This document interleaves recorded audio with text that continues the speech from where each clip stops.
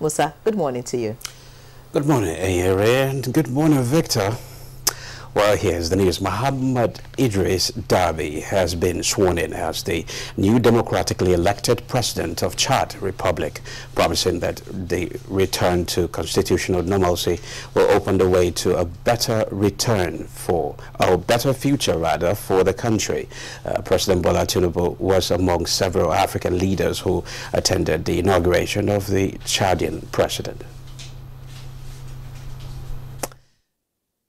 The federal government has restated the commitment of the Tinubu administration to revamping the nation's tax system without overburdening Nigerians. Vice President Kashim Shettima stated this when he received a delegation from the Chartered Institute of Taxation of Nigeria at the presidential villa.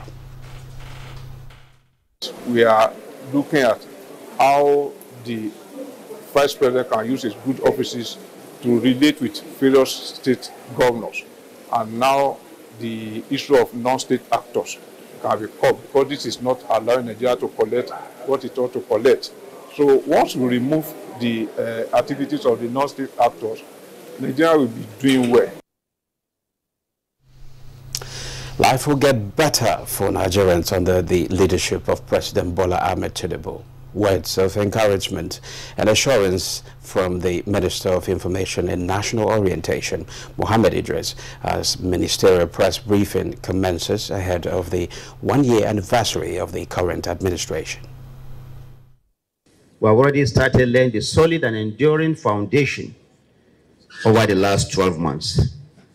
Landmark initiatives like the Consumer Credit Corporation, the Nigerian Education Loan Fund, presidential initiative on compressed natural gas, the 200 billion naira presidential grant and loan scheme, our agriculture and food security efforts, including the launch of a dry season farming and massive fertilizer distribution, the Renewed Hope Infrastructure Development Fund,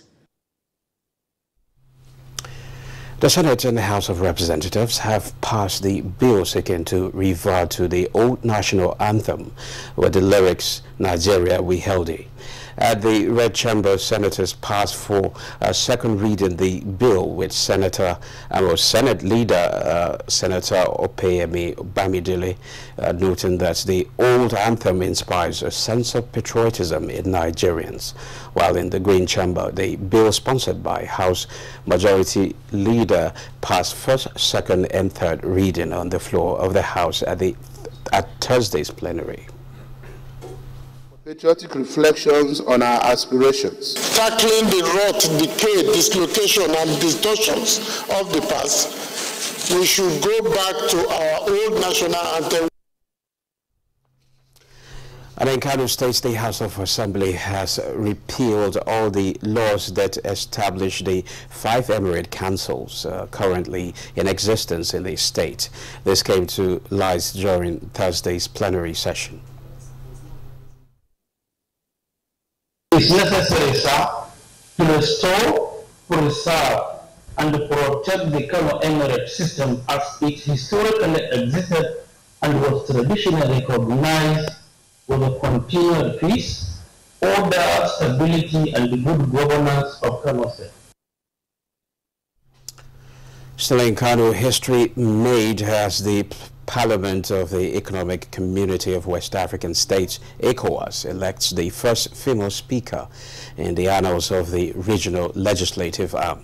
Uh, the second extraordinary session of the sixth legislature in Kano, the new speaker, Memunatu Ibrahima from Togo, calls for one regional entity that will speak with one voice. Your passion, your dedication, your commitment to the realization of the objectives of Parliament will enable us make ECOWAS an ECOWAS of peoples where peace, security, and prosperity for all reign. Well, those are the highlights of the news at this time. Good Morning Nigeria continues with Victor and Erie after the commercial break. Please don't go away.